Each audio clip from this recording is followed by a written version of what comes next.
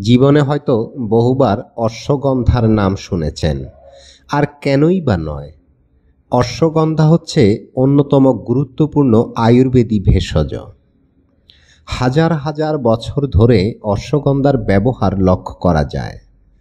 ভারতীয় চিকিৎসা শাস্ত্রের ইতিহাসে এটিকে অত্যাচার্য ভেষজ বা অ্যাডাপ্টোজেন বলে আখ্যা দেয়া হয়েছে। অশ্বগন্ধা নামটি এসেছে অশ্ব বা ঘোড়া এবং গন্ধা বা গন্ধ থেকে।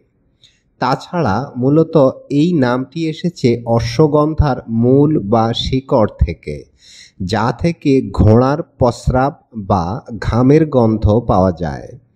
অতিরিক্তভাবে আয়ুর্বেদ গবেষকরা বিশ্বাস করেন অশ্বগন্ধা গ্রহণ করলে ঘোড়ার মতো শক্তি, অর্থাৎ শারীরিক শক্তি এবং যৌন ক্ষমতা অর্জন করা যায়।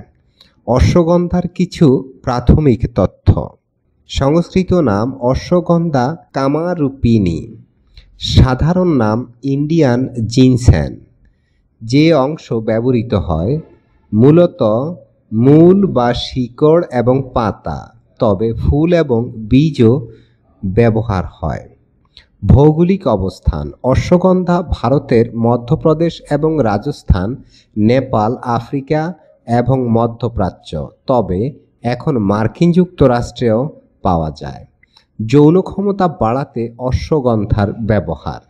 বলা হয় অশ্বগন্ধা পুরুষ এবং নারীদের যৌন ক্ষমতা বৃদ্ধি করে এবং পুরুষদের সাইকোজেনিক কারণে লিঙ্গ উত্থান না হলে উল্লেখযোগ্য ফল পাওয়া যায়।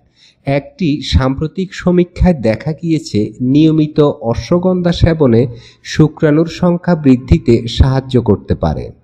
সমীক্ষায় দেখা গিয়েছে, অশ্বগন্ধা পুরুষদের প্রজনন ক্ষমতা বৃদ্ধি করে। এটি শুক্রাণু সংখ্যা এবং টেস্টোস্টেরন বৃদ্ধি করে, যৌন ক্ষমতা এবং যৌনক্রিয়া উন্নতি ঘটায়। অশ্বগন্ধার সর্বাধিক ব্যবহার চায়ের গুঁড়ার মতো পাউডার আকারে। দুধ, ঘি বা মধুর সঙ্গে মিশ্রিত করে এটি খাওয়া হয়। বর্তমানে অশ্বগন্ধা টিংচার খুব জনপ্রিয়। টিংচার হচ্ছে অশ্বগন্ধা পাউডারের সঙ্গে অ্যালকোহলের মিশ্রণ।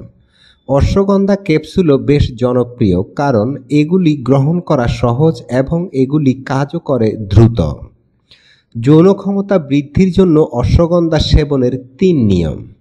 এখানে সাধারণভাবে একটি ডোজের নিয়ম জানানো হচ্ছে। তবে আপনাকে গুরুত্ব দিয়ে বলছি যে, আপনার আয়ুর্বেদ চিকিৎসক আপনাকে যে ডোজ দেবেন সেটি অনুসরণ করবেন।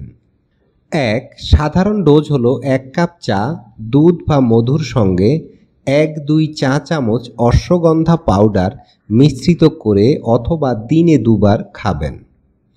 আর যদি ক্যাপসুল খেতে চান, তাহলে এক দুটি ক্যাপসুল দিনে দুবার খেতে হবে। দুই, যখন মধুর সঙ্গে মিশ্রিত করে ব্যবহার করা হয়, তখন যৌন স্বাস্থ্যের জন্য তা উপকারী হয়। তিন, অশ্বগন্ধার নির্যাসের সঙ্গে অ্যালকোহল মিশিয়ে টিংচার প্রস্তুত করা যেতে পারে। এটি সহজেই রক্তের সঙ্গে মিশে যায় এবং দ্রুত ফল দেয়। টিংচারের শক্তি এবং রুগীর বয়স এবং লিঙ্গের উপর অশ্বগন্ধা টিংচারের ডোজ নির্ভর করে। প্রিয় দর্শক, ভিডিওটি ভালো লাগলে পরবর্তী ভিডিওর জন্য চ্যানেলটি সাবস্ক্রাইব করার জন্য বিশেষভাবে অনুরোধ করছি। ধন্যবাদ, ভালো থাকবেন।